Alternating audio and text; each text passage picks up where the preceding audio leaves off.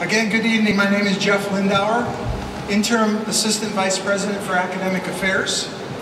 Unfortunately, President Hurley was unable to join us this evening. It's my great honor to welcome you to our campus for tonight's Symposium on Educational Equity in Western New York. Welcome to our two keynote speakers, Professor John Brittain and Dr. Peter Cookson, whose report released by the Learning Policy Institute in February of 2019 sets the stage for tonight's discussion. And welcome to all of you, college faculty, teachers, administrators, superintendents, students, local church leaders, elected officials, members of media. Thank you for being here this evening. This event is being sponsored by the Center, uh, the Canisius College Center for Urban Education, which our School of Education and Human Services created in 2017 to focus our efforts in preparing the next generation of teachers and to contribute to educational equity in our region, state, and country. This symposium is an important expression of the Canisius College mission. As a Jesuit college, we are called to promote justice in our world.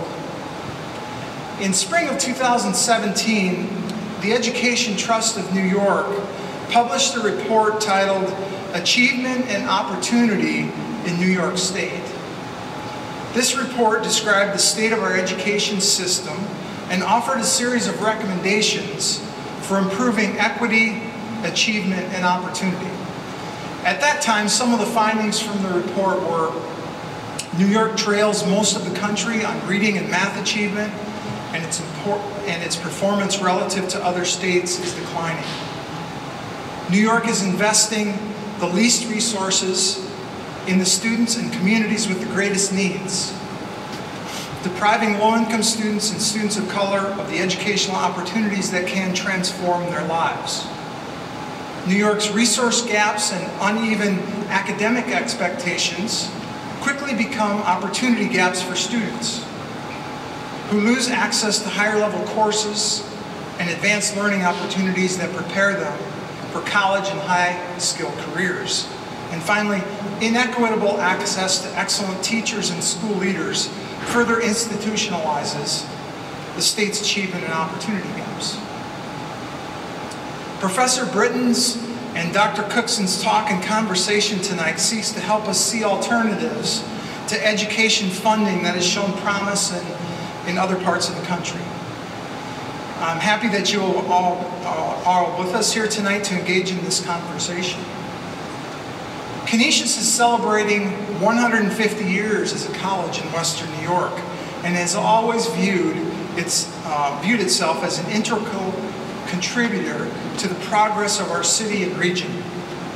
It is this vision of Canisius that led to the creation of the Center for Urban Education and partnership with the National Urban Alliance to improve the quality of education in our region.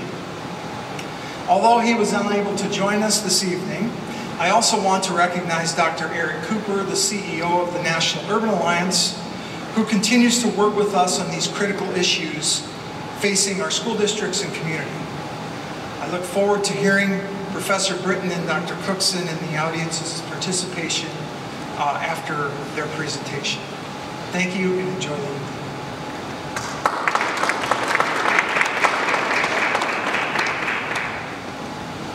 Hello, good evening. Hi, I'm Dr. Nancy Wallace, Interim Dean of the college's School of Education and Human Services. I'd like to thank you for joining us here tonight as we welcome keynote speakers, Professor John Brittain and Dr. Peter Cookson, who will discuss Sharing the Wealth, how regional finance and desegregation plans can enhance educational equity. After their presentations, they will offer a question and answer session. It is now my pleasure to introduce our presenters this evening. John Brittain, Professor of Law at the University of the District of Columbia, and Dr. Peter Cookson, a Senior Researcher um, at the Learning Policy Institute.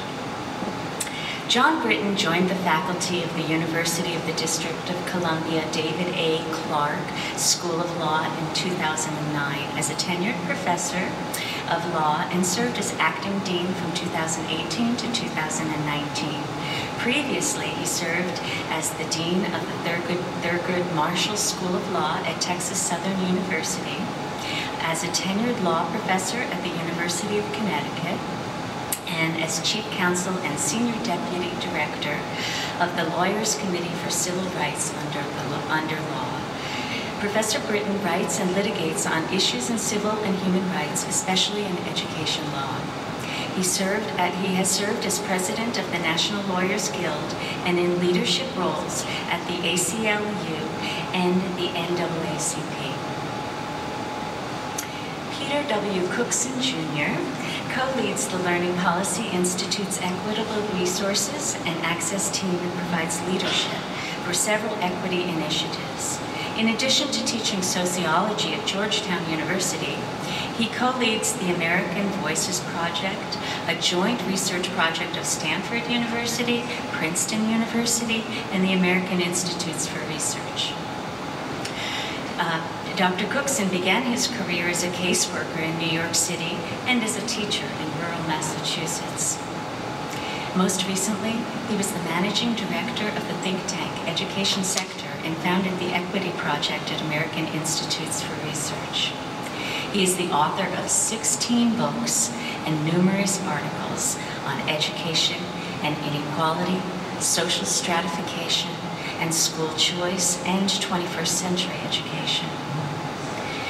Dr. Cookson has a PhD in the sociology of education from New York University and MA in American history from New York University and MAR from the Yale Divinity School and a BA in history from New York University. Wow. Um, and it is now my um, distinct pleasure to welcome Professor John Brittain to the stage.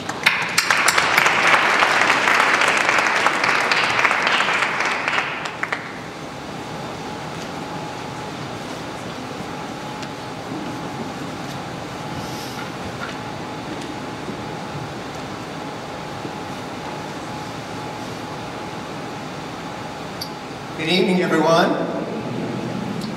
Thank you, Dean Wallace, for that wonderful introduction. And thank you, Dr. Lindauer, for inviting me to come talk tonight. I am a legal drum major for justice, as Dr. Martin Luther King would say. I've been in the law for 50 years in pursuit of educational equity. One of my law professors back in the late 1960s was trained by Charles Hamilton Houston, the father of the modern day thesis that de jure segregated education was inherently unequal and a violation of the 14th Amendment Equal Protection Clause. Charles Hamilton Houston was the dean of my law school alma mater at Howard University and leading civil rights lawyer who headed the NAACP's legal department. He was the one who brought the Brown versus Board of Education case. Charles Hamilton Houston trained Thurgood Marshall, certainly one of my mentors. And he also trained Herbert O. Reid, who was my mentor in law school, and who was a co-counsel with Charles Hamilton Houston in one of the five Brown versus Board of Education cases. And he was the lead lawyer in the Washington, D.C. case. So he trained me in law school. And therefore, I consider myself a third generation legatee of Charles Hamilton Houston in the pursuit of educational equity. In our report, with my dear colleague here, Dr. Cookson, I am going to lay the foundation for the premise that sharing the wealth, how regional finance and desegregation plans can enhance educational equity.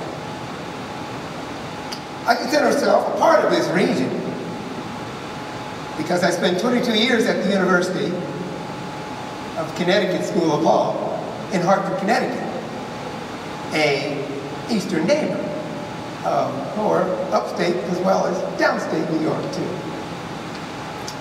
And during my 22-year tenure there, I followed in my mentor, Charles Hamilton Houston's footsteps with one foot in the classroom teaching and the other foot in the courtroom litigating civil rights cases.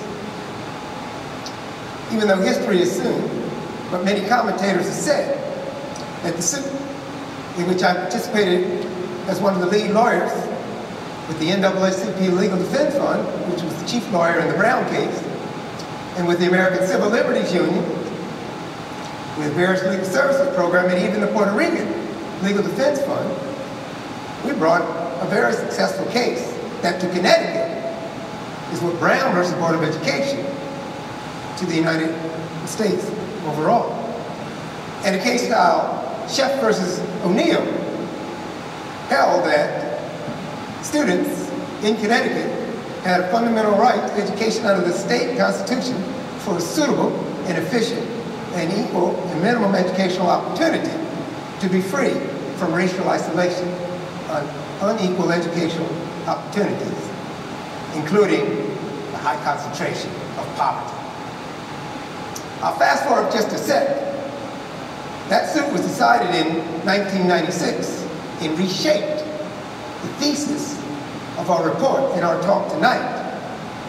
In regional education or inter-district education because the cause of much segregation is the silo of high concentrations of poverty and racial isolation and unequal educational attainment in large urban areas, but it also spreads into surrounding suburban areas.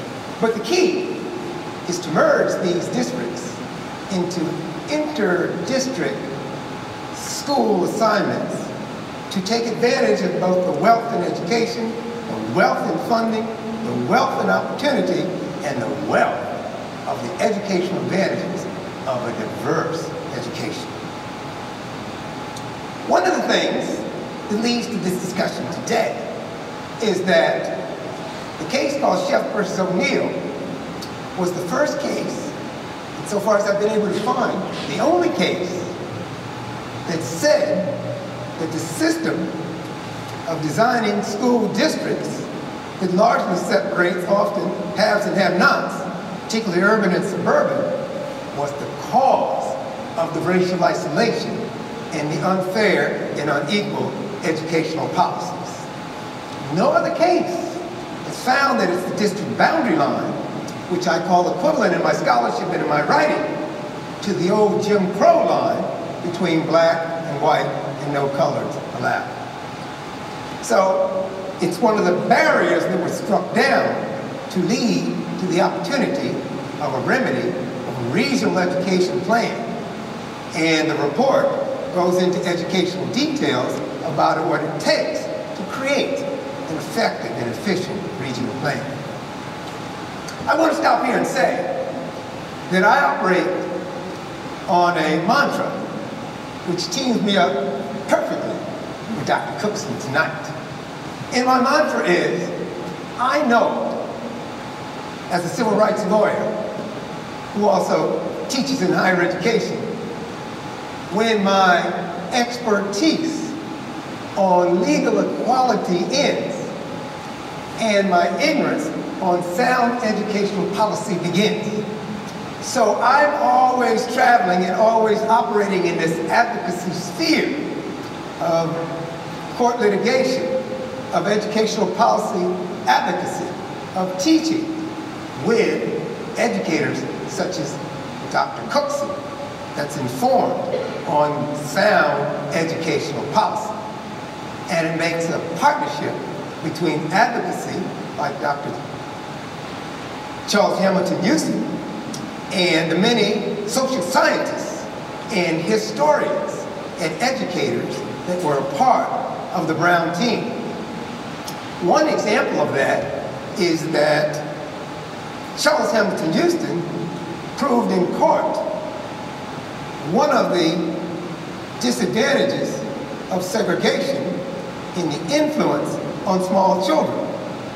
And he worked with a leading educational psychologist named Clark.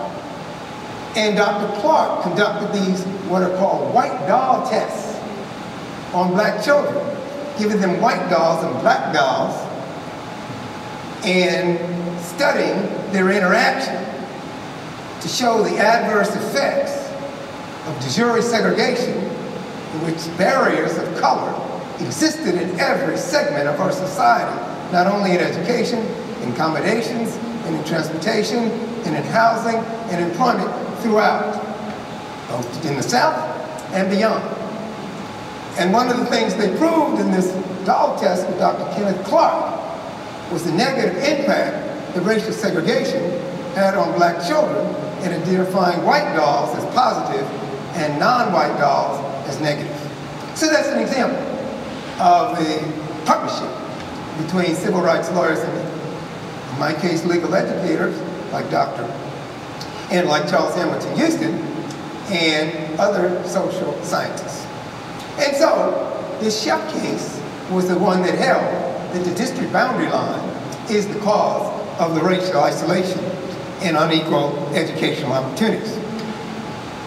Without going too deep into the legal woods, the Sheff case was also another breakthrough. One of the legal requirements is that lawyers who bring complaints for civil rights, particularly under constitutional grounds, have to prove what is known as intent. They have to prove that the respondent intended to create segregated systems and unequal and unfair systems. It's a hard standard to prove in many cases. When we brought the Connecticut case, we were in state court instead of federal court. The federal court had already created this high barrier of intent.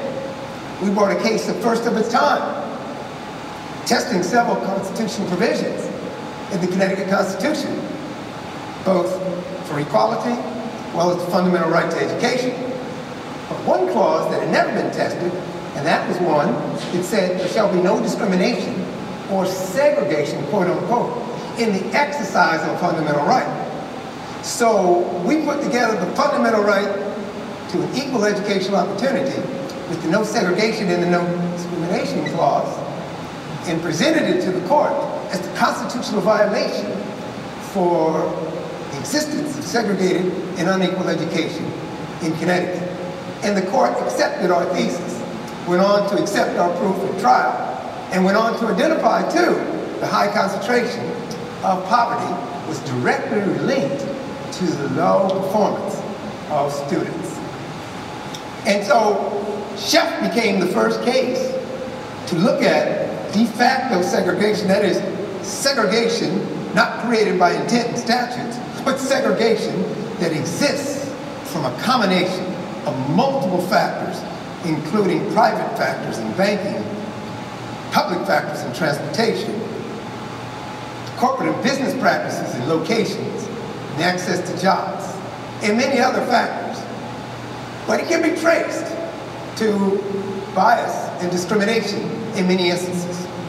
And so, to allow us to sue on the segregation itself and the state's negligence in failing to correct it created constitutional right led to a successful decision based upon this de facto test and not having to prove the intent. There was something else quite significant about the Connecticut case too. And that was, it led to the thesis again of this talk on the advantages of regional education. So since the case declared that the district boundary line was the cause of the racial isolation largely in the urban districts, and that it was unconstitutional, it left the remedy for regional education. And that remedy, in short, was satisfied by two components. One was Connecticut long had a plan in which students in urban areas could transfer to seats available in more advantageous suburban schools. It was called Project Concern. It started even before the lawsuit. After we won the lawsuit, the school adapted it, changed its name, expanded, and calls it now school choice. But it became a regional plan. The next segment, again to the thesis of the wealth and the opportunity in regional education to promote diversity and higher educational attainment, was the creation of a series of magnet schools, some in Hartford, some in suburbs, some along the borderline, with no residential requirement for attendance. Because not only was a magnet school, but it was a regional school. And that's been the successful element in this Sheff plan, and that's one of the three models that Dr. Cookson will show you on slides today that led to the positive conclusion about its success. But in order to get to that point, the seeds were set through the decision in this Sheff case, a partnership between civil rights law and educational advocates for the educational proven benefits of diversity in schools. Benefits that he will go into some more detail, but certainly includes not only enhanced educational achievement and attainment, but more particularly to move more freely and navigate through integrated settings and lead to better jobs, better housing, but particularly higher attainment beyond their current location.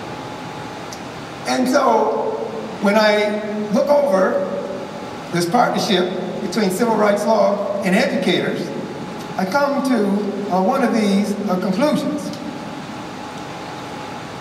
I come to the conclusion, as the court said here, that although the constitutional basis for the plaintiff's claims is the deprivation that they themselves are suffering, and they were a host of multi-diverse plaintiffs that we carefully selected from the suburbs, from the urban areas, from low income, medium, and higher socioeconomic income, from advantage, from disadvantage, from Latinx, African Americans, Asian Pacific, to Native American Indians, large West Indian population within the greater Hartford area.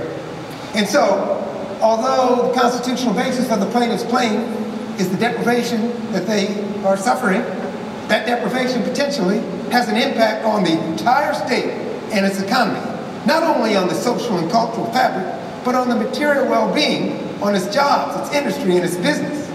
Economists and business leaders say that our state's economic well-being is dependent on the more skilled workers, technically proficient workers, literate, and well-educated citizens. And they point to the urban poor as an integral part of the future of our economic strength. So it is not just that their future depends on the state, the state's future depends upon them and they cited a New Jersey case. And the New Jersey case, called Abbott and Burke, was also another case that held in a suit there that regional education was an option. And the court found, although they never implemented it, like the one we have in Connecticut, that regional education is available so long as it's feasible. Well, feasible is what everybody wants. So in other words, regional education is available in New Jersey, but no case has ever tested any remedy in litigation. There's a case pending now, and I'm going to be speaking on that uh, next month. And so let me just turn now to the state of New York. In the late 1990s, early 2000s, I attempted to export the Sheff case to the Empire State of New York. And we chose Rochester, New York, because it was very similar to our venue that's where suit is brought, in Hartford, Connecticut, with over a dozen surrounding, mainly advantaged districts with very small or varying percentages of diversity. So we chose Rochester, New York, and we brought a case called Paynter versus New York.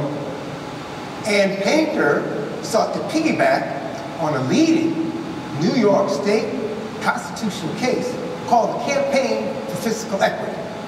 And the campaign for fiscal equity was a suit that said that New York failed to meet its education clause standards of a suitable and efficient minimum education by unequal funding, largely between advantaged school districts and disadvantaged school districts.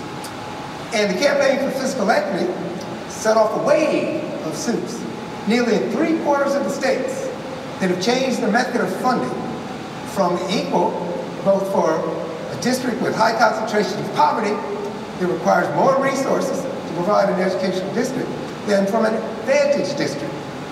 And all of local education is funded partly by state funds, but mainly by local funds, particularly from a tax on property. And they get funds from all other sources too, private as well as the federal government. But the state's constitutional obligation is to provide equal funding. And this campaign for fiscal equity was a suit that established that standard. So we sought to come over here and piggyback on the campaign for fiscal equity and to sue the state of New York on behalf of Rochester and several of the surrounding districts to import the Sheff regional remedy and to establish a cause of action that low-performing schools with high concentrations of poverty and the Rochester case differed from the Connecticut case. The Connecticut case was decided on the racial isolation. We call that the Brown versus Board of Education claim. We have the same poverty and disadvantage claim because poverty is the most statistically significant factor in determining educational disadvantage. But the court decided, although it accepted the finding that it was directly linked to lower education performance, it chose the Brown versus Board of Education claim to establish this fundamental, first ever, constitutional right, equal education, equal opportunity, and free from racial isolation in Connecticut. So we've got to bring that here, excuse me, to New York. And we decided to piggyback, piggyback on the campaign for fiscal equity case called CFC, CFP rather, and the trial court denied us. And the trial court held that the only right to extend the fundamental right to education under what is called New York's Education Clause was in unequal funding or fiscal issues. And they turned down our claim for racial isolation with all of its proven standards from Brown Board of Education to the Connecticut and to New York. In Ohio, excuse me, in Ohio, uh, uh, Hawaii is the only other district with the kind of clauses that New Jersey and Connecticut have to make this suit much more persuasive. But the Court of Appeals, as the New York Court of Highest Decision, Supreme Court called in other districts, turned down that remedy, and they will go no farther than extending educational equity and not for racial isolation. So they stopped with the family, but not for the desegregation. However, that has not stopped advocates here in New York. It was a good education, it was a good finding, but it paves the way, as I keep saying, for regional education. And it paves the way, as you see in the report, from voluntary. So today, as I begin to wind up, all pursuit of school diversity for the sociological, educational, and individual advantages of an integrated education are voluntary. The law is divided into two segments. One is liability, one is remedy. The liability is like a battle, and many battles have been won, particularly in civil rights cases.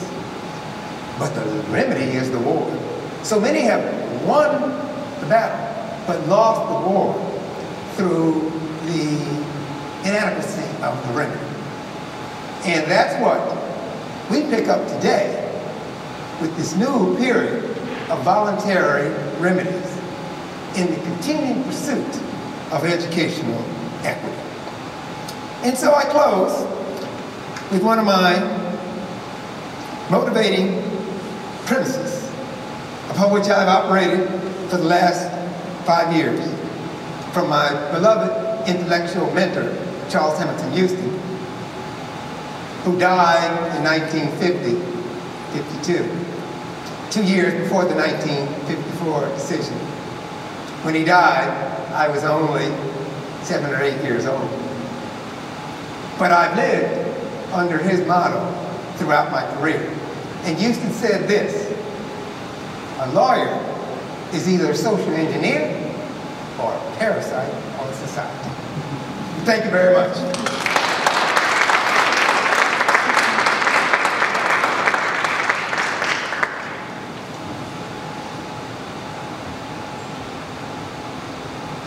Thank you so much, Professor Britt. Um, please give a warm welcome to Peter, uh, Dr. Peter Cookson.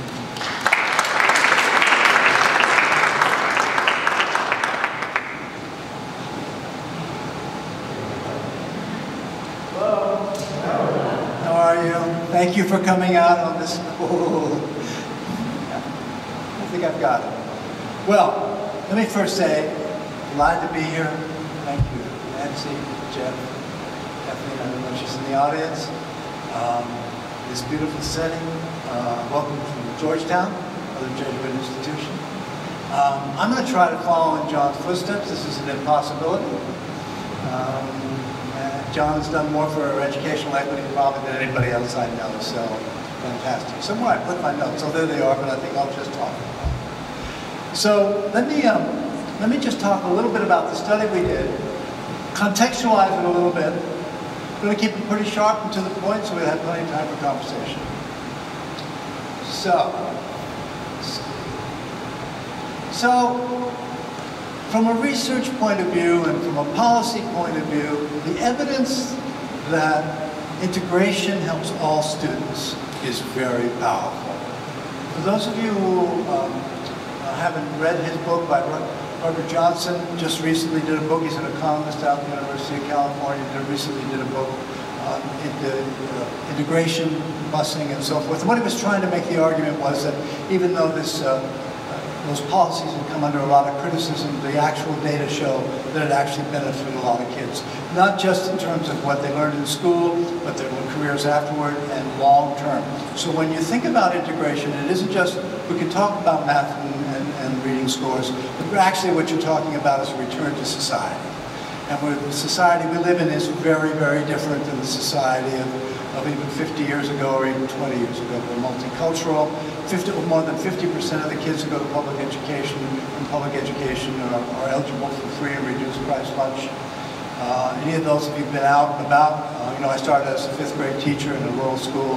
I went back there a few years ago and it hadn't changed a great deal and it was pretty heartbreaking to me. Oh, when I hit myself this, it sounds like I have to remember that. Um, um, hadn't really made much difference in their lives, and the economy has changed dramatically as well. So, what was acceptable, maybe, maybe never was acceptable, what was possible, maybe uh, 20 years ago even or beyond, uh, no longer is true. So, we've got a real crisis in our hands, and, and integrating schools is a big part. Not only do we see uh, evidence of student gains, we also see lower dropout rates, but here's the thing I really want to emphasize stronger intergroup relations, and poverty, positive outcomes beyond. And now we need, in this day and age, young people who are prepared to participate in democracy. And I don't see we can, can't do it without a firm understanding of the power of integration. So, interdistrict, John touched on all this stuff, so I don't want to, I don't want to repeat what he said, but just to kind of crystallize a little bit in your minds when we talk about it, I think you all have some LPI stuff in your folders, so you can read it in some depth. Um, first off, they're voluntary. That's important. Uh, this isn't mandated by the government, uh, although the courts play a big role in this, but it's voluntary. And the examples I'm going to give, uh, discuss with you in a minute, very briefly, are all voluntary. Now, here's, here's a key variable. Those of you um, Life's going to ask to raise into Georgetown Teaching Board or something here.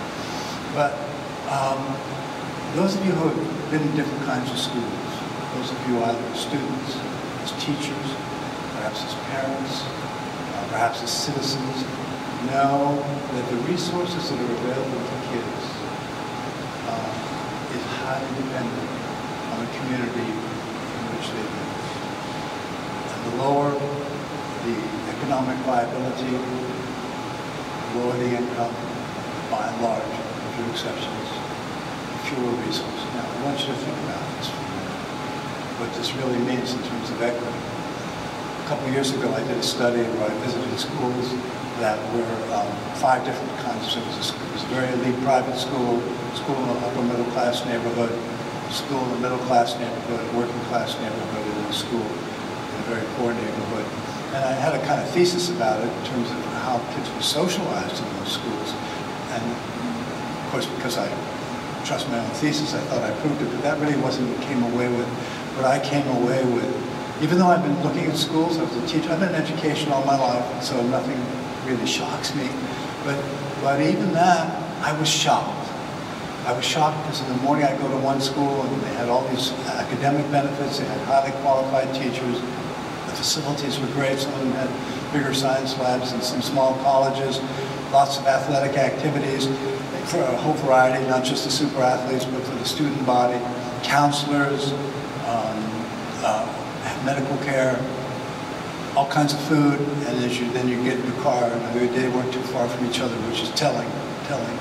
Um, you go to a school in which none of these things existed. There was, to get in, you had to go through uh, one of these things, like security things that you have at the airport, badly run. Um, the school wasn't very clean.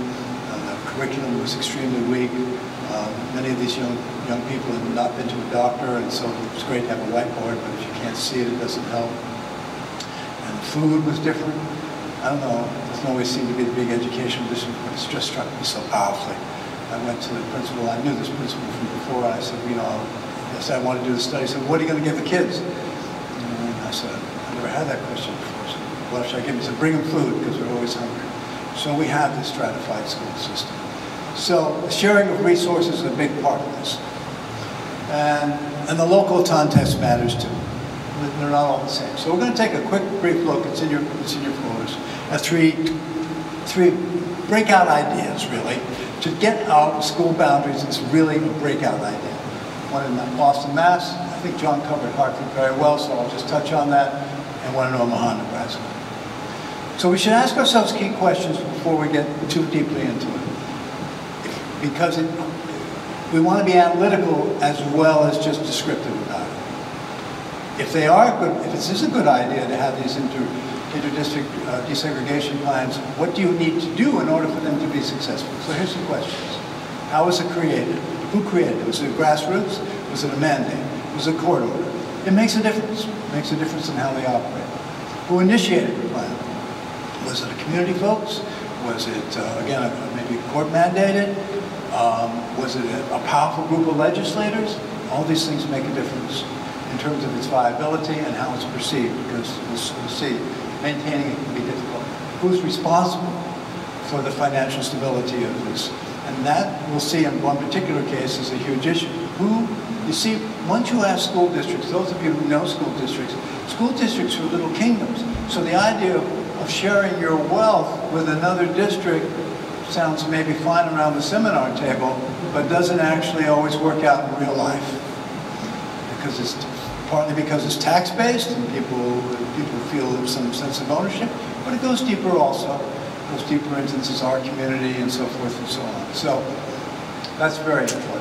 How is progress measured? And not just measuring it, did, they, did the students do better on math and English, but how about their growth in terms of associated uh, emotional growth, in terms of being able to, being ready for career and college, being able to uh, uh, survive emotionally in a world that's very competitive, and so forth and so on. Have multiple measures, and what's the political support? Because this is a very political idea, and who is supporting it matters. I don't know, can you see this? I wonder when I put this together, is this okay? I don't know whether there was so much detail here, you I'll go, "Ah." This is, uh, this is just a, uh, a little, um, little map of Boston area and the surrounding areas. The Metropolitan Council for Educational Opportunity, METCO, is the longest continuous uh, desegregation plan we have. It started out as a smaller program called Project Exodus from Boston. It's a grassroots program. In 1965 and 1966, became Metropolitan, became METCO. Now this is an interesting This is a very interesting plan. It serves over 3,000 students, but the waiting list is over 10,000 students. The waiting list is over 10,000 students. It's a one-way racial balancing program uh, with transfer students of color from Boston to, to other suburbs in Springfield and other suburban districts. It is extremely, um, there is support for this program. Uh, the, the center of it's in Roxbury, which is a predominantly African American community in Boston. Uh, the schools, the receiving schools, the suburbs get $5,000. There is support for transportation. There is a great deal of support for these young people. It's not just sort of, you know, I hope it works out for you. There's counseling about college, counseling about academics, uh, social emotional counseling, because this is a, a, big deal to get on a bus and to travel to a, a neighborhood that's not your own. And of course, we're not going to talk about this tonight, but there's also a lot of, within schools themselves, there's a lot of um, segregation. Sometimes intentional, sometimes uh, just uh, by the way the schools organized.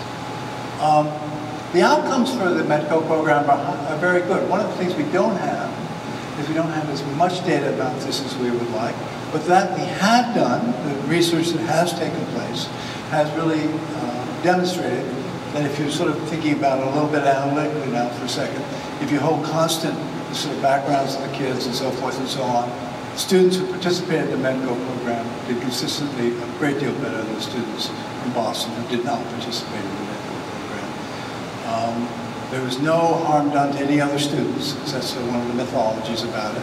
In fact, there's a lot of evidence to show that actually having a diverse classroom actually increases learning, actually increases all students' ability to learn.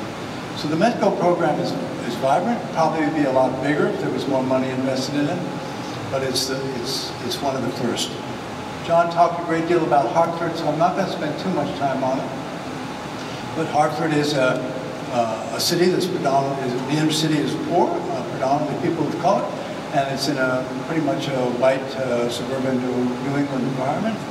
It, this is a two-way program, and it has a few features. Just fasten on for a minute, and then we'll, we'll when we have our, our discussion, we can talk about it. Using magnet schools and school open schools of choice, and the state of Connecticut made investment in those schools. There's quite a few of them. They're, you know, taken together, there are well over almost 100 of them, so that they knew that they were going to have to create schools that would, would mag student, have people, have students be interested in attending no matter what their backgrounds were. Um, they, uh, there's a lottery system.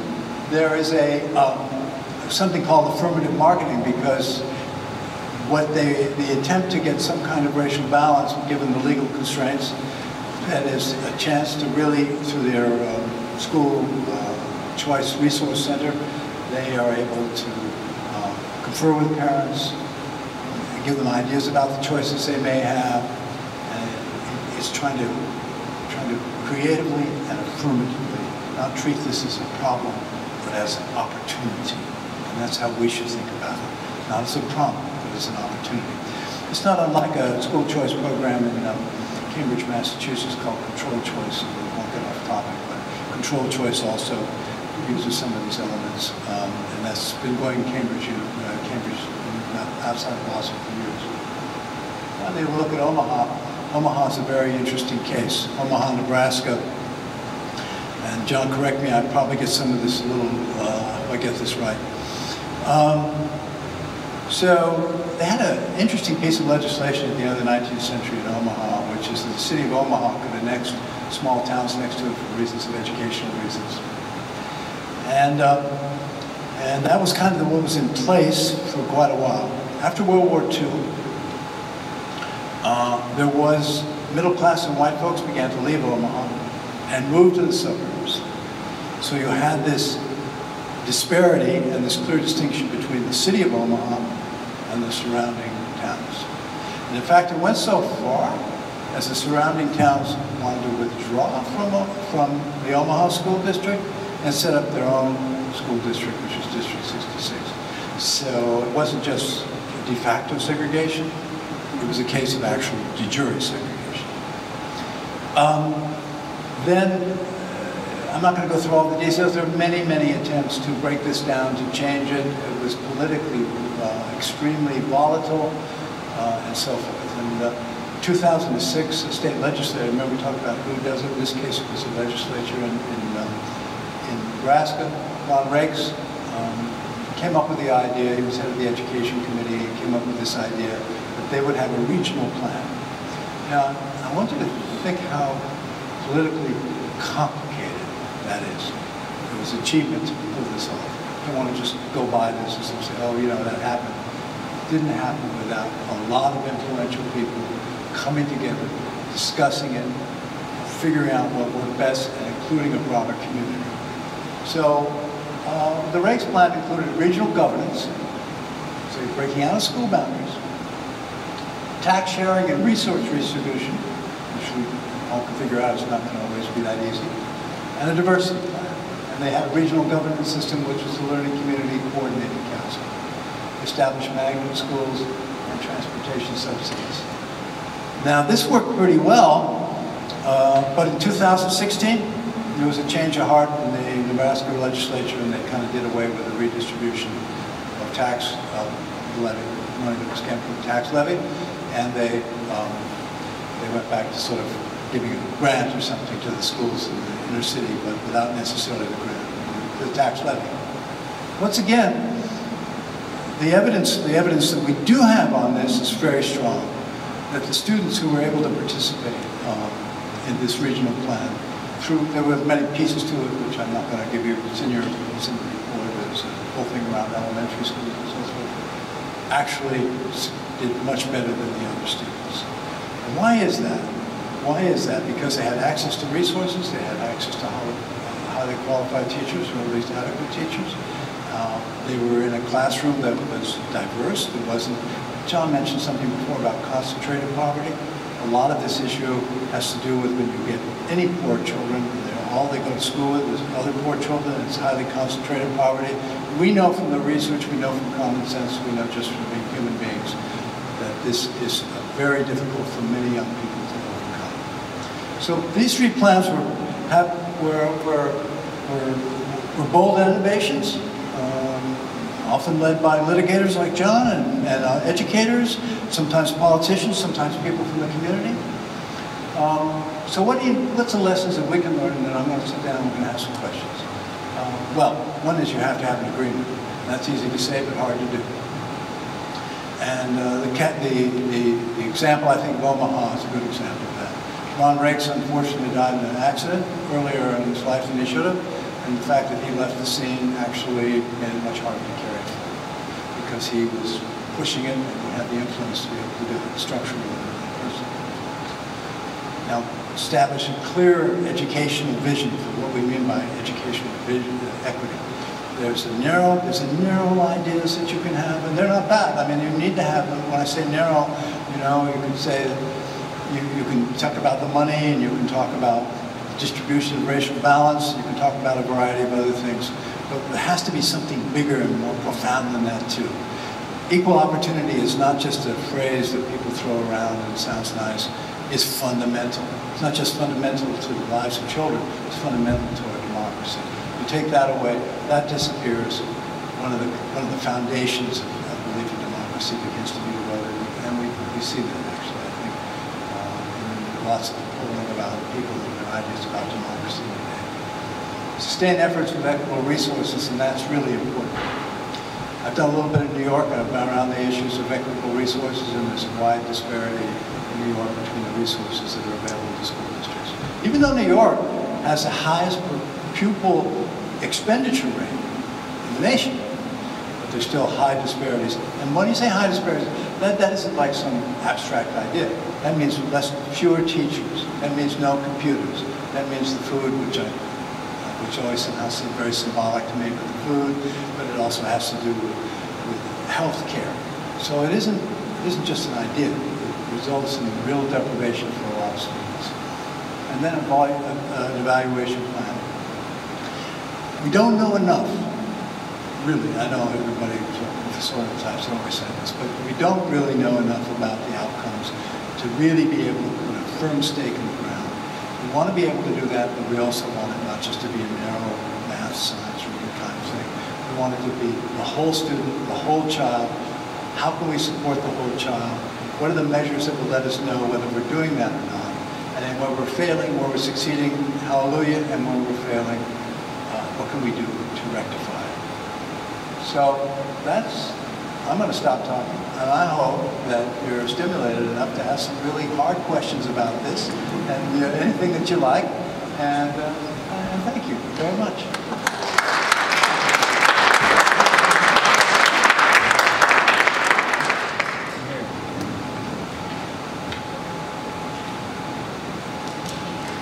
Cookson. Um, we are so privileged to have a moderator here tonight. And you're just going to excuse me for a second because.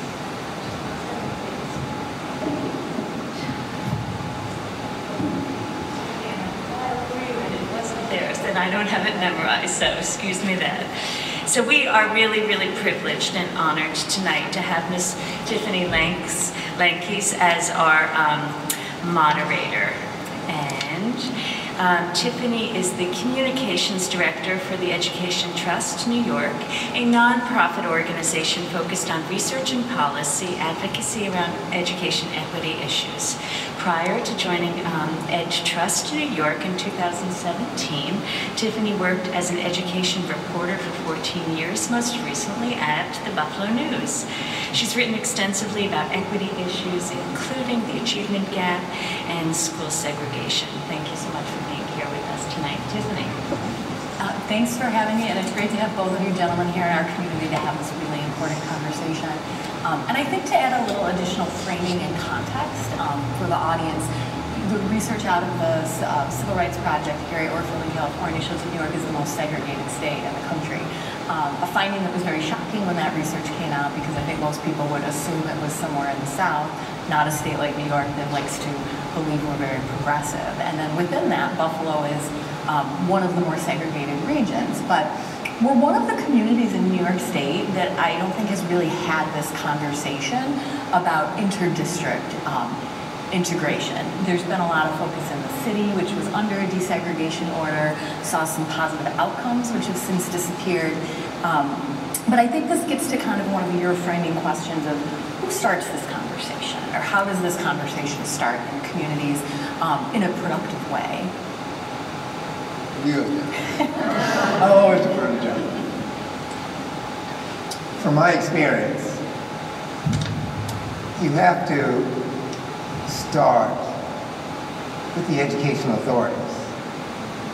And the educational authorities are largely your school board and your superintendent. For an example, over the past eight years, I sometimes switched my hat in being on the outside and agitate, sometimes suing school boards and superintendents, creating consulting firm, and going on the inside and working with the Board of Education and with the superintendent and various other administrators, along with next support from the community. When we brought the Sheff case, for example, we took almost eight years of holding focus sessions and talking with people about what was best for the future of education and best for the economy and the life of people in Connecticut, especially in the Hartford capital region. And we've done the same thing as we work with school districts in Charlotte, Mecklenburg, work with a school district in California, Pasadena Unified School District, and more. And then you have to uh, bring in, uh, largely, some of your large business organizations, such as the Chamber of Commerce, that we work with in Wake County, North Carolina, in the partnership. And we work with uh, education departments, such as here at Canisius College. We work with other business and industry in terms of determining the future workforce. And that was especially true in North Carolina, with this area they call the Research Triangle, situated down between Raleigh, North Carolina and Durham, North Carolina, home of UNC and Duke University and others, to uh, help make the educational system meet the workforce needs of tomorrow.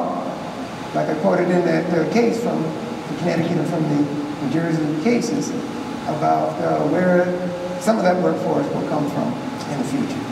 So it's all those kinds of players that's uh, necessary. And it takes a lot of time, a lot of effort, but in the end, I think the results are worth it. Yeah, I think, I think that's true. In Boston, we do have a, strong community base there. And um, so I think in building the community is going to be, it's going to be stabilized over a period of time. It seems to have to have some, at least in my perception, some real grassroots support. I think it has to be authentic.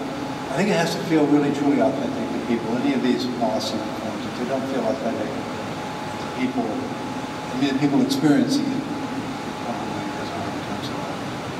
So the one glimmer of this conversation I think we've had in Erie County was years ago when Buffalo students were given the right to transfer to a higher performing school if their school was put on the state watch list. The city school district did not have enough schools to accommodate those students, so the idea was floated for them to attend school in the suburbs, and people went nuts. Um, this is obviously a highly politicized issue. I think you both kind of touched on that. Um, but what would you say about navigating those politics, which quite frankly can get pretty nasty in these conversations? Well, I don't think there's a stellar example. Um, I do think that actually the Omaha example, well, actually Hartford too, with John talking about Hartford. I think the Omaha example is a path forward, though. I just I don't want to be negative about this. Um, I think what happened in, in Omaha is kind of what John said about the people in positions who were in a position to write policy, legislators and others, and newspaper writers, and people who were really attempting to, to try to change the system, which was so volatile, so unfair to so many children. Um, I think they were able to do the political work that needs to be done, to understand compromise, to listen to people, to be patient, being willing to take a lot of guff, probably. Um, maybe not- not even all the time being totally safe. But I think without that political savvy and determination, it's hard. Now, where that comes from usually has to come certain dedicated, inspired people who just going to do this. And so I don't know where that comes from, but I think that's necessary, really. Maybe not sufficient, but necessary. I would say too, we're a little risk of a too strong statement, but the proponents of school diversity and school integration for its educational values that you've heard has to down with those who oppose it. And to some extent, African Americans, a number of Latinx, and the concept in the last decade of charter schools largely reinforces segregation. And in my writing, I call them the non-integrationists or the self-segregation. And even President Obama's policy for seven years with Secretary of Education Arne Duncan and Race to the Top and these competitive grants were bitten, bitten bound on changing what they call dropout factories through turnaround procedures. And so I support anyone who wants to improve education with or without integration. But integration, I'm convinced, by all the social science research and studies, is certainly a documented advantageous. But over the years, we've sat down with the charter school community. We've sat down with those who are opposed to integration to see if we can find some common ground, make some inroads. And now we do have an organization of around 30 uh, charter school organizations throughout the country, including some of the big co- corporation charter schools, who are willing to embark on efforts to increase school diversity within charter schools. Think Alice, one more question before we open it up to the audience. Um, I think one of the kind of negative outcomes that you sometimes hear about, and um, Rochester's written quite a bit about this, they have an urban-suburban program, is sometimes students leave the city school district and do get a seat in a suburban district, but they find when they get there that they don't necessarily have access to those advanced courses that their white classmates do. Um, or they encounter racial bias because sometimes the suburban districts are just not as culturally responsive um, as they should be. So I, I guess what would be your word of caution or your advice or what have you seen in these other places to make sure that when students are making that move that they are getting a, an opportunity to have access to those um, educational benefits? Well, I am so glad you asked that question because it is not enough to formally integrate a school. We know that from experience and research. Schools have cultures that are powerful. And if you're a person that doesn't grow up in that culture or isn't immediately accepted in that culture, they can be isolating, they can be scary, they can be alienating. So there's anybody who wants to integrate a school has to really think deeply. A school, uh, high school outside of Chicago, Highland High School, that was founded on the principles of integration. And uh, recently there's been a lot of press about the fact that it kind of ended up being two societies, even though that was the underlying ethos of it. Uh, we need responsive curriculum. We need, we need teachers of color and leaders of color. We need to have curriculum that's relevant to all kids, but by all I mean all. We need to be sure that we don't have a implicit bias or an explicit bias where a student of color somehow doesn't get into the advanced uh, you know, AP courses. Uh, we know that there's disparities in how discipline is exercised. Again, this is, uh, these are facts. Um, the same offense uh, for a student of color, especially a male, um, you're going to get very likely a very different treatment than if you're a white student. So these, these racial divides that are in our culture are played out every day inside our schools. And we, we need to tackle this problem directly. There has to be a lot of truth-telling, honest conversations, and then policies that, that people in the schools, now the adults in the school, have to really live, live, live, not just give, know, lip service to. Um, until we come to that recognition, I fear that we're also setting ourselves up for failure, aside from everything else. It's a huge I'll put it up to the audience. There is a mic here. Yeah, I have to uh, use the mic. You do have a question, you can kind of line up over here we'll take them one by one. I guess I should put my lower hat in in the form you, as I'm sure the uh, host did, that this uh, event is being recorded. Hope it doesn't scare anybody away from asking. No, don't be question. scared. Thank you so much for being here today and to share your understanding knowledge with all of us. Um, one of the questions that came to mind, and I always advocate uh, a little bit of uh, this view um, in, in my classes, is what's the role of the, um, the state in, in these, in advocating for this type of programs? It seems that uh, we are always working within the same paradigm of decentralized uh, systems of education. But there- is also a lot to be said about the process of re-centralization to some extent, which is some of the ideas that are uh, underneath your rationale of regional, you know, arrangements. Um, so I, I wonder, within your own uh, studies, um, you know, how can we see the role of the state in advancing some of these, um, you know, uh, responses, you know, to um, desegregation, or or desegregation, so to speak? I'll take a first shot at the uh, structural relationship of your excellent question. It starts at the top with the Constitution of States on the fundamental right to a fair, to a minimum, to a suitable, to an ed- educational opportunities. That is the state's responsibility.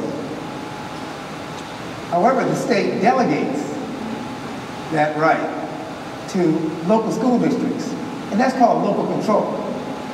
And there is no constitutional, no common law, no statutory law other than the regulations that completely allows local control through local districts to run their schools the way they do. But the reason they nevertheless run the schools the way they do without any real concern for the state except that they want more money from them is because, and I think this is part of the problem, local school funding is based upon property tax. And the local share of school funding is greater than the state's appropriation for education.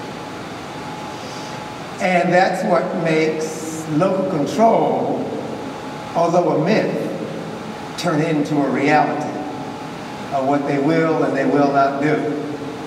And it's a kind of me, in my attitude towards education that leads to any kind of resistance to a broader regional education elite, especially in this northeast, mid-Atlantic geographical context of a number of local school boards, local superintendents, local financing, local administration, local, local, local, and duplication. The ideal, like uh, Charlotte Mecklenburg in North Carolina, the largest school district in North Carolina, is to try and create greater regional education, either at the county level, the way it is in many southern and Midwestern and other states, or at least try and create more voluntary regional forms of education. I, I think part of your question public education in the United States is unbelievably uh, decentralized. Uh, compared to Europe or probably any country, maybe it's New Zealand, I'm not sure, but uh, compared to almost any country in the world. You know, Pete John just said as well. I I think this plays out in people's lives. A few years ago, I did a study in the Midwest, in the state that, um, and uh, we were looking at outlier schools, schools that had students who had very low income, but the schools themselves seemed to be better, at least in terms of the schools. We went through the state. I went to a, a rural part, 'cause most of the study was in urban areas, but we went to a rural uh, school. And um, one of the big issues in that school, and uh, sort of, sort of half saying it facetiously, but actually it was very serious, was that they merged with another school district, and the question was, who's going to be the school mascot in which district? Now, for for somebody coming from the urban area, say, really, but actually for those for those folks, because their grandparents went there, their parents went there, it, it was a deep, it was an emotional experience. So the the even you know the football and all that was tied into it. So. Um, people have loyalty to their schools, which is laudable. It gets in the way, I think, can undermine issues of equity dramatically. Um, and, and sometimes the conversation is disguised.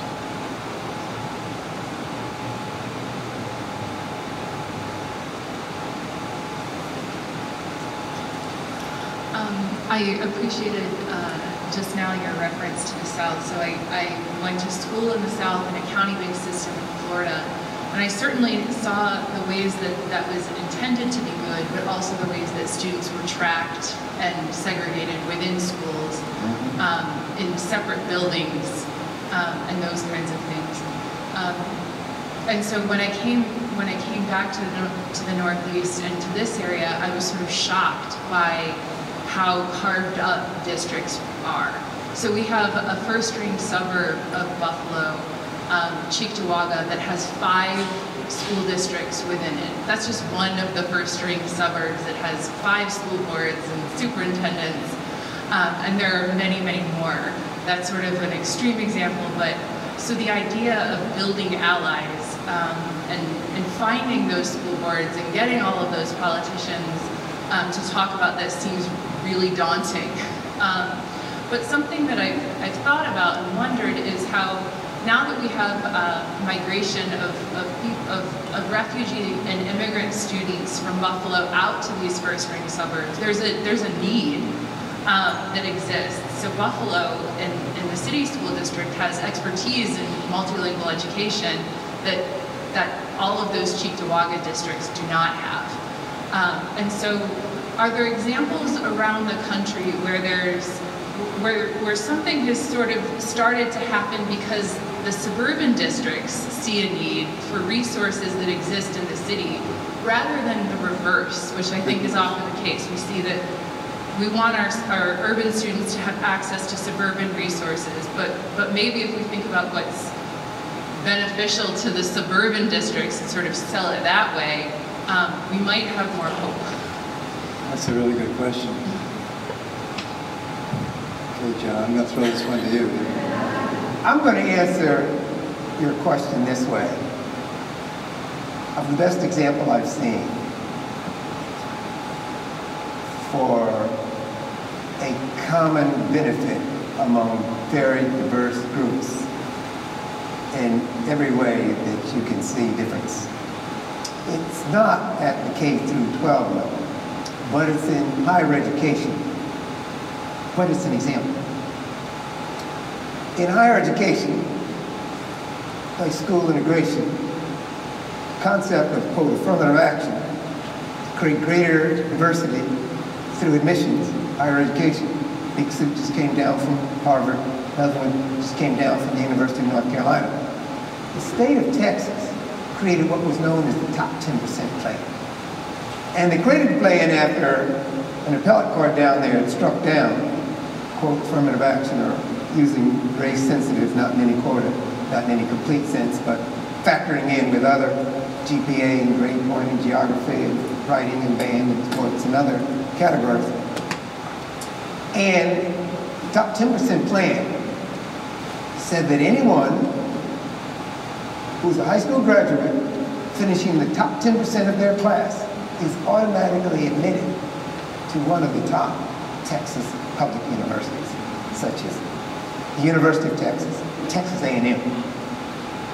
And the plan lasted while this court case was going on in another big court case involving the University of Michigan solved the question in the Texas case. And Texas went back to some of the more conventional admissions criteria using race in a very careful and sensitive process. And the question was, should they eliminate the top 10 plan?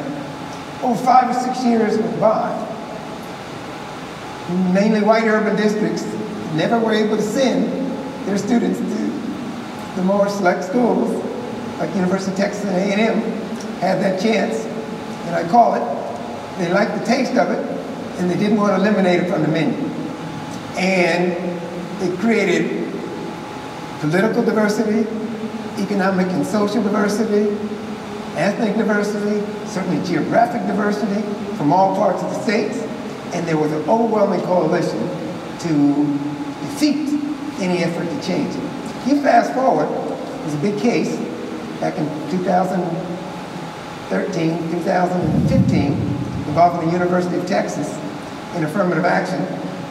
I was asked to write an amicus brief for over 54 Texas legislators of all racial, ethnic, two Republicans, the rest Democrats, in geographic areas in support of this top 10% plan. And many others joined in. That's the best example where there were mutual interests among different kinds of economic, social, ethnic, political groups on a common goal to keep this 10% plan. Because those who had not had access to some of the best University of Texas and Texas public institutions of higher learning got that opportunity and didn't want to lose it. We should yeah, find something like that, regional diversity in Casey Fellow education. The question actually reminds me of a conversation I had once with John King, who was Obama's second Secretary of Education. He's now the CEO of the National Ed Trust. But when I was a reporter in Rochester, kind of posed the question of what can you, in your role as Commissioner of Education in New York State, do to force this conversation? And his answer I thought was really interesting because I think he was dabbling in this conversation in Albany and said, if you get any business leader the state's education budget said, how would you organize this? No one in their right mind would come up with 700 independent school districts with 700 school boards.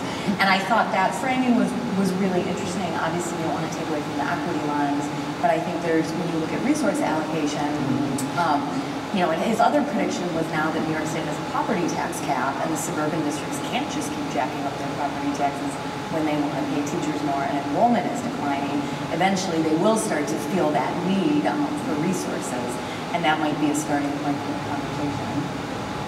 I, I think, I think, I think we have to convince white folks that the world that they're living in and their children are living in, if you don't, if you cannot understand, work with, trust people of other backgrounds, you're just on a purely selfish basis, your chances of mobility are extremely limited. We are living, I don't mean this is a controversial point, I think it's obvious, but we are living in a globalized world. And people, there are all sorts of skills that are associated with it. Um, Linda, my colleague Linda Darling-Hammond, wrote a book called The Flat Earth, but there's that world, but there's, there's all kinds of books around this now. So isolating yourself is self-defeating for your children. I don't know quite how we get this message out, but that's the message that, that really needs to be out there, I think.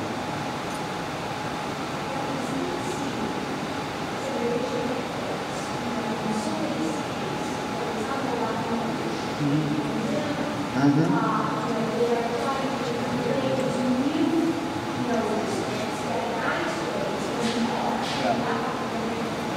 Secession. There is? Yeah. Secession with their resources. They want to take it and keep it. Good evening. I just want to say, first of all, thank Dr. Wallace for having me here. My name is Durga. I work um, right here for the District of Buffalo with uh, an organization called CS Buffalo. Um, and some of the issues that CS Buffalo addresses is really um, educational inequities right here in Western New York and in Buffalo. And uh, the role that I play here is working with community schools, which is not necessarily a new concept. It's, you know, especially in the state of New York goes back to 1991 um, in New York City. But nonetheless, what we're trying to do here is address educational inequities that are happening right here in our backyard in the city of Buffalo. And some of the biggest challenge that we were faced with um, at, you know, while really looking at the disparities between um, what does the education, you know, quality look like right here in the city versus the suburbs, was the fact that we have very much different demographics in the city versus the suburbs and therefore you can't feed everybody with the same spoon. Um, and uh, while trying to kind of catch up, you know, to, to, to these disparities, we had a large number of new Americans coming right here to Buffalo as refugees. As of right now, we have more than 7,000 um, English language learners in the city of Buffalo. Um, we have 80% um, of our students in Buffalo qualify for free and reduced lunch. So poverty is a serious question here. But while trying to address all these questions, there is one thing that I personally focus on because I come from a background from higher education is what, the, what role do higher education institutions play in addressing the access to um, equal educational opportunities for our students? Because oftentimes the players that are missing from the table are the higher education institutions. So. Well, I think, I'll just speak for myself. Uh, just in higher education level, but I don't want to pontificate too much about this. Also, I'll just tell you what I think. Um, I think that universities and colleges, by and large, play a major role in perpetuation of for their admissions policies. Uh, also to larger cultural issues as well. Um, I, I think in terms of education, um, to be honest, I think that I've worked in a number of schools of education, and I think that while there's often um, a sort of lip service paid to these issues that we've been talking about today, that the, the programs themselves don't really manifest this and don't really reach out ways that. One of the real crises that we face is lack of diversity in the teaching profession. Um, and that's not just, again, sort of a nice thing, that's, that's a very practical issue. And I think your, your universities and and colleges have a major role to play in beginning to resolve that problem through admissions and support, through curriculum makes cultural sense and so forth and so on. So I think there's work to be done in higher ed in this regard. Um, I'll just leave it at that. John, do you want to? It's a great topic. Hello, uh, my name is Leah Hoffman, and I'm a student studying education here at Canisius. And my question is in regards to the parents and guardians of those students that have abilities to move to different school districts. And um, just a question about how accessible is the information for the families to have their students move between districts? Because from my understanding here in Buffalo is that sometimes information isn't available as quickly or easily as we would like for the families, especially for those that are coming from different countries or their English may not be their first language. Is there any like regulations or um, rules on how they have the information presented to families within those districts?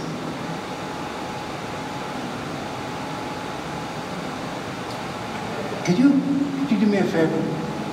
I didn't get all of your questions. Could you come back and ask that question again? Because I want to give you the right answer. Or not the right answer. Yeah, just go ahead. Say it, say it.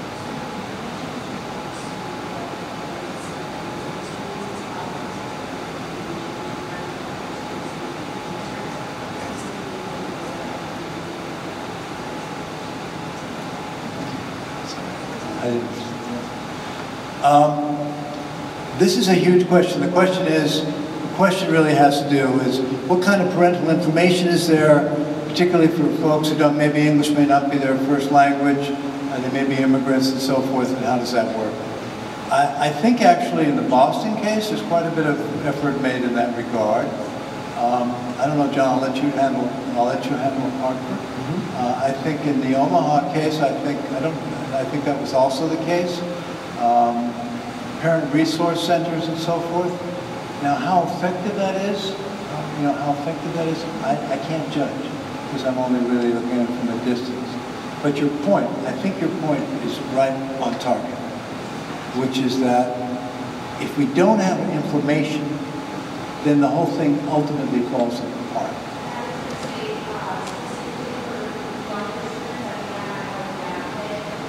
Yes. Yes.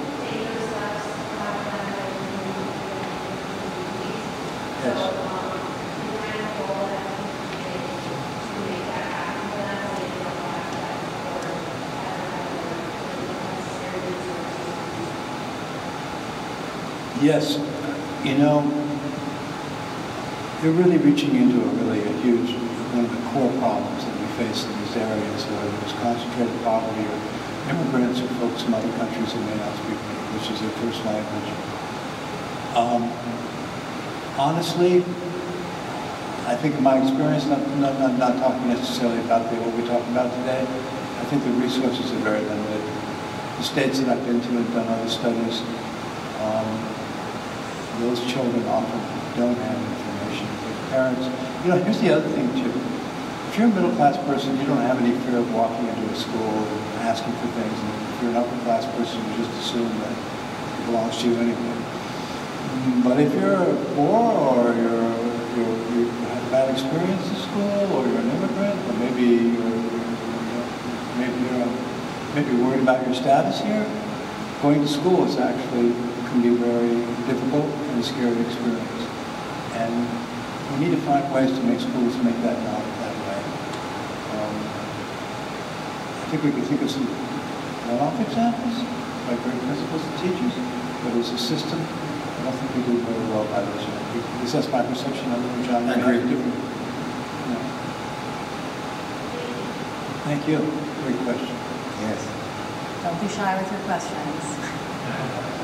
Go, go for it. I'd like to address this question to Professor. Um, So what regulations, policies, laws are there to enforce um, or force districts to be more um, culturally inclusive of populations of English language learners who are oftentimes, I hate to use the term immigrants and refugees because in Buffalo we have lots of Puerto Rican students and they don't necessarily fall under that umbrella. So um, just from a national level, but a state level as well. Again, using my mantra of running with the educational policy wonks.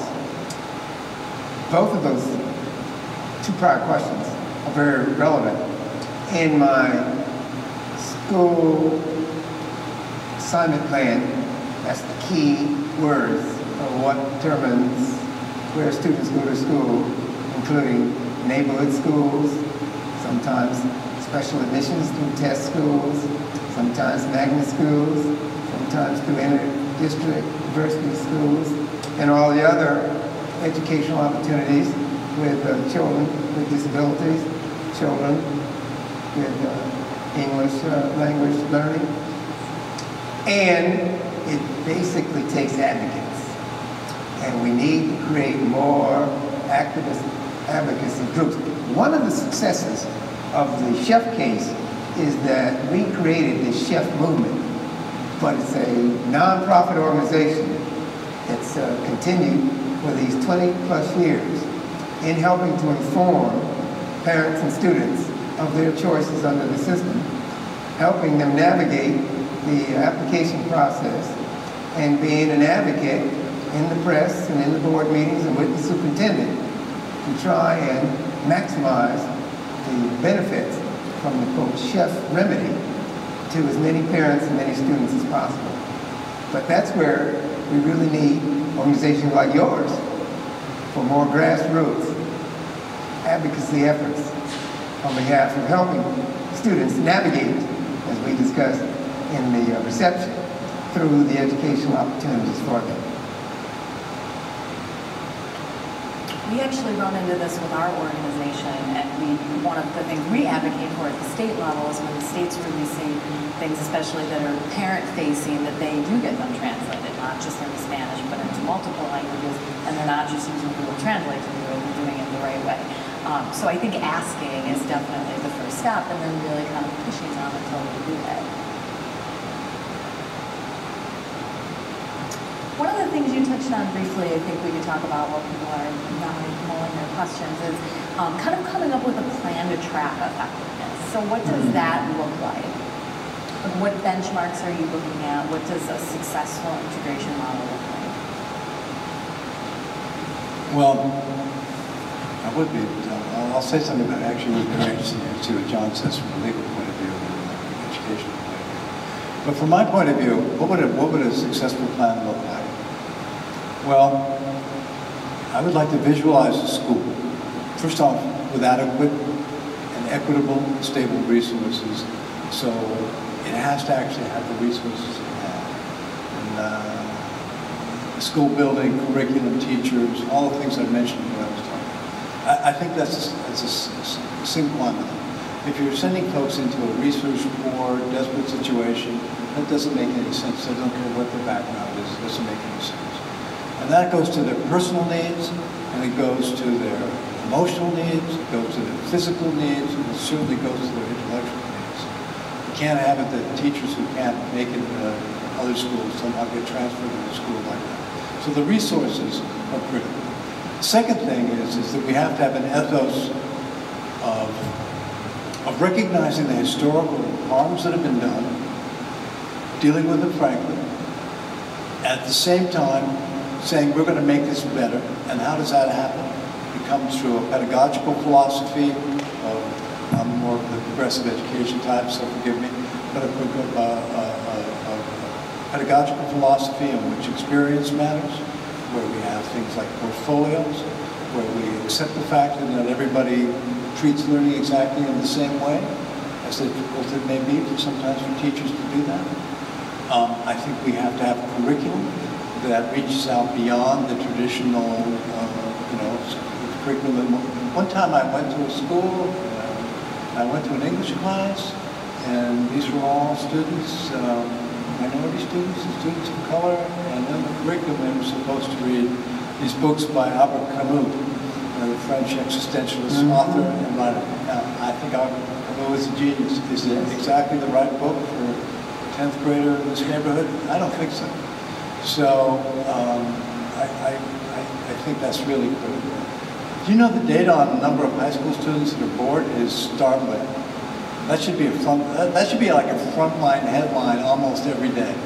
Just bored. How many few high school students find a teacher that they feel that they can trust and support them? So um, that's the kind of school I would want to see. And certainly, the governance of the school has to be democratic. I mean, it varies a little bit in circumstances and people, but by that, it's a small d, not a big. This- It has to be democratic because kids, young people are, we all are, they're very sensitive to injustice. And once they feel this injustice has been perpetrated on, them, this goes beyond racial or ethnic differences. Once they feel that injustice, especially if it's more than one, so to speak, it's very hard for them to bring their full talents, because that's what we want, bring their full talents to the school. So discipline practices, restorative justice, we know there are things that are better than others. Restorative practices and so forth actually do make a difference in schools. In answer to your question, I've seen the full scope, particularly in some court-ordered, quote-unquote, segregation plans, where there were counselors who rode the bus or other means of transportation from the point of pickup to the schools. There were counselors to uh, greet the students and help them navigate into a new environment, and throughout the year, be their counselor with programs, particularly ensure that they were enrolled in after-school programs, and they had after-school counseling. And as uh, my colleague, Dr. Cookson was saying, was just to check in with them, to see how they're doing, how the family's doing, and to uh, help them as long as possible through this transition. As time goes on, and these programs are really working, when the first budget cut comes, these extra counselors and other persons are the first ones to be reduced in force, RIF, cut. And now, it's hard to even get them in the budget in the plan, although educators know, administrators know, it's essential for success in any of these uh, transfer programs.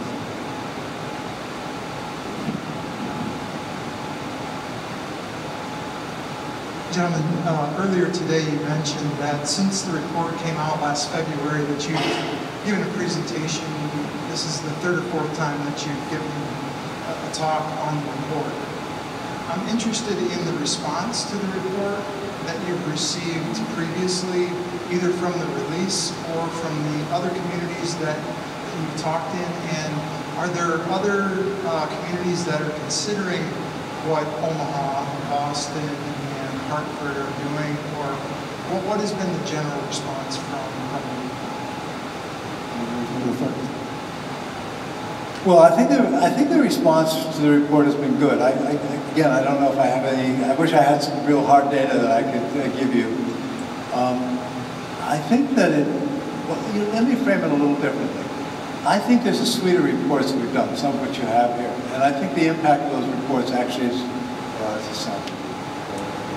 I think it has contributed to changing the conversation a little bit. When, I, when we first started this, the issue of school finance equity, which is one piece of it, because it's particularly tied to integration, was not necessarily the most uh, hot topic, so to speak, in the policy world.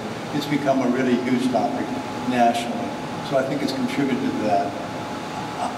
I, I, I have never encountered anything, you know, about this report that made people push back in any significant way. But that doesn't mean they weren't thinking it, they just didn't say it.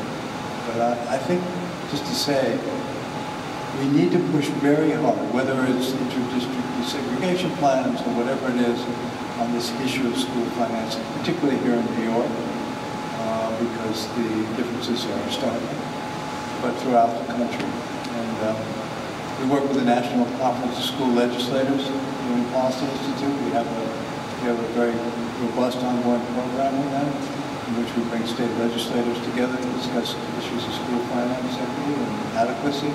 Some of it's a little technical, but a lot of it is more political and policy. And um, that has become a bigger and bigger movement.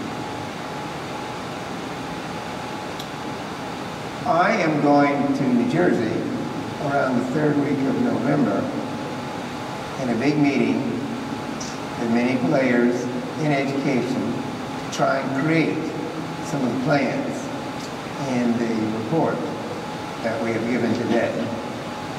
And it starts with the governor, it comes down to the legislative leadership, it includes the unions, it includes the local legislators, it includes all of the civil rights organizations. And it is instigated by a large lawsuit that was brought last May. But in a good sign, it has been put on hold to try and work through some ways that at least some plans can come out of it to promote greater diversity through regional schooling, starting small in certain parts. And I think that's a good start. It's a good effort. But the cloud of the case hangs over it, but it is producing at least coming to the table to talk.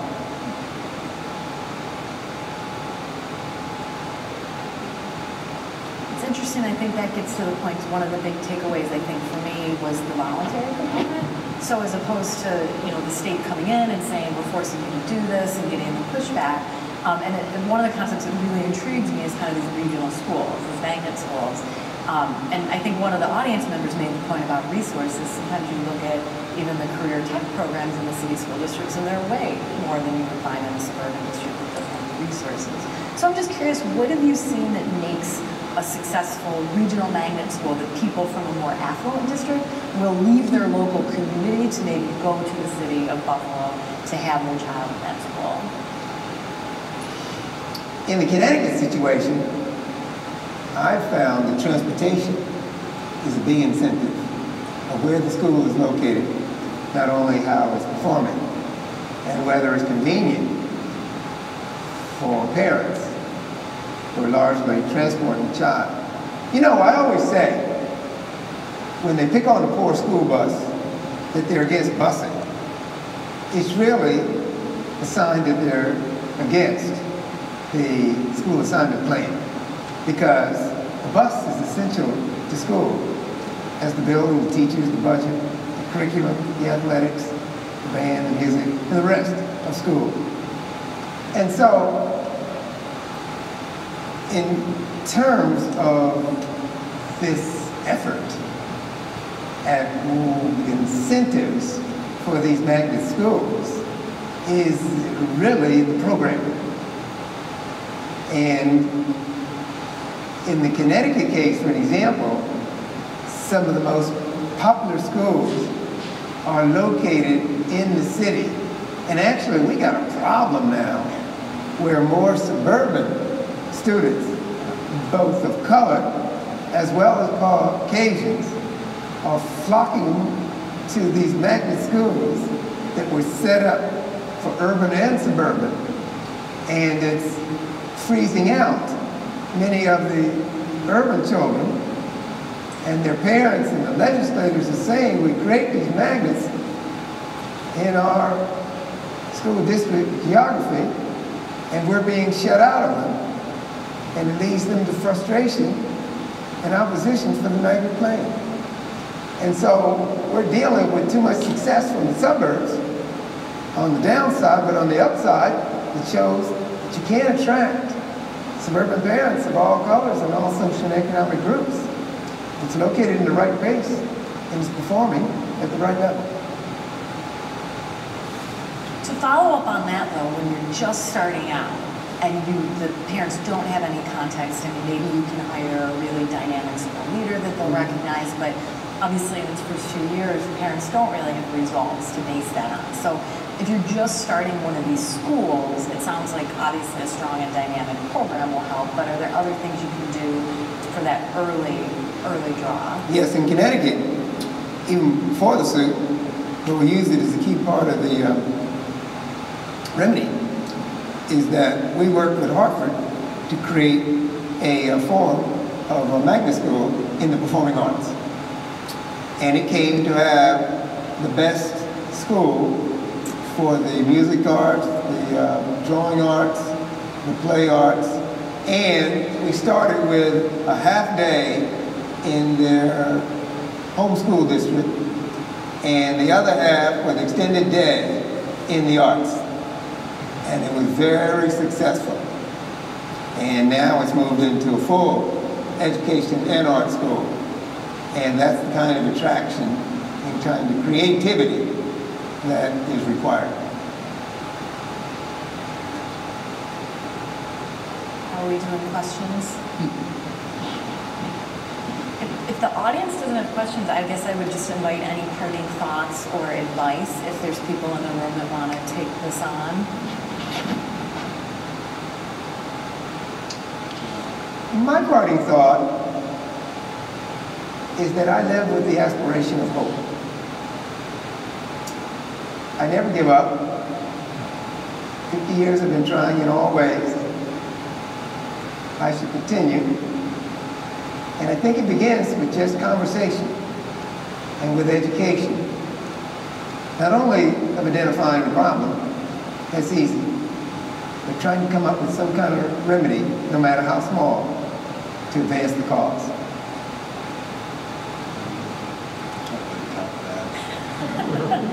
All I can say is I've never had a day in my life when I didn't think education was important. I always pay what you want and so forth, but I've never had a day ever when I didn't think it was important. So, to me, it's, um, it's, it's, a, it's, a, it's a really noble thing to fight for these causes. Yes, some days you win, some days you lose. Thank you all for coming out tonight. Yeah, thank you. Thanks so much. Yes, thank you. Thank you all. Thank you, John. Thank you, Peter. Thank you, Tiffany, for this really engaging conversation. And regret is that this whole room isn't packed because this is such an important conversation and that so many people in our community really need to hear this. So I feel a responsibility. I feel inspired, but I feel a responsibility, and I hope you do too, to continue this conversation when you go home, you know, in your context, in your in your environments, because it can't end here you know, um, really, um, so thank you for joining us. Thank you for being here.